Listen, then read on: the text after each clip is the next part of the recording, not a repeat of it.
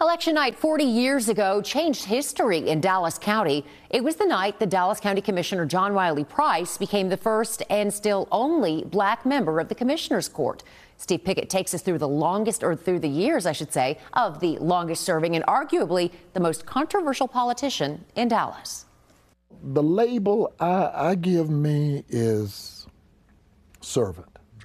He may be the most recognizable face and name in Dallas's political landscape.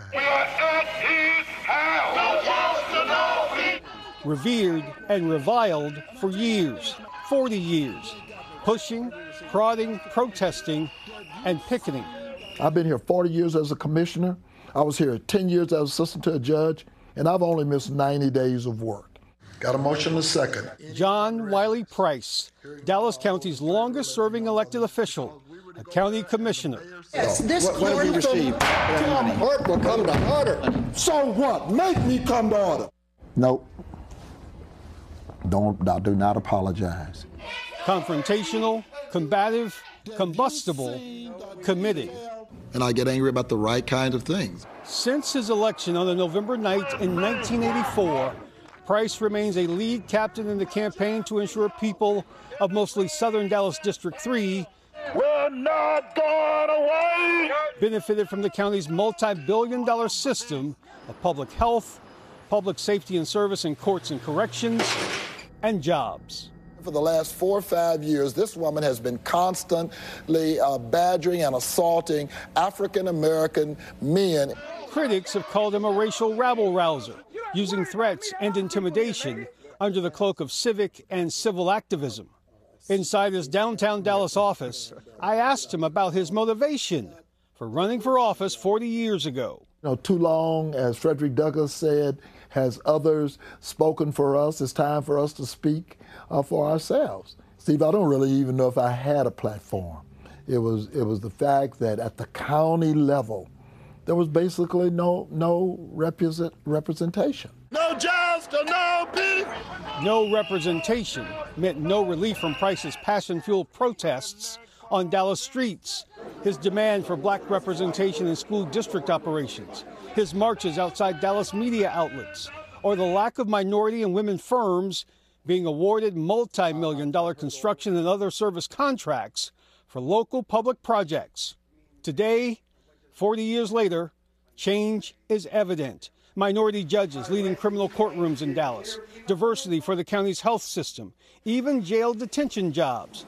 But Price wants more. The majority of my district judges are African American, females. But my thing is accountability now. Are you working? Parkland will tell you, I'm advocating for African American nurses. doctors don't run hospitals, nurses do. For years now, he has sat as the ranking member of Dallas County's elected body of representatives. But Price has also held the other title, the outsider, the leader known to many in black Dallas as, quote, our man downtown.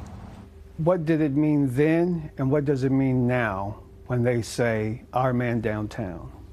Now it means that uh, I have kind of validated myself. It's, it's not just a, a colloquialism or a, statement. You know, he's our man, a, a niche word. That means that he represents us. Price remains Dallas County's only elected black member of the court. Jury has spoken. But he's also the only one who faced criminal indictment on multiple bribery and tax fraud charges. A jury found him not guilty or hung on all charges.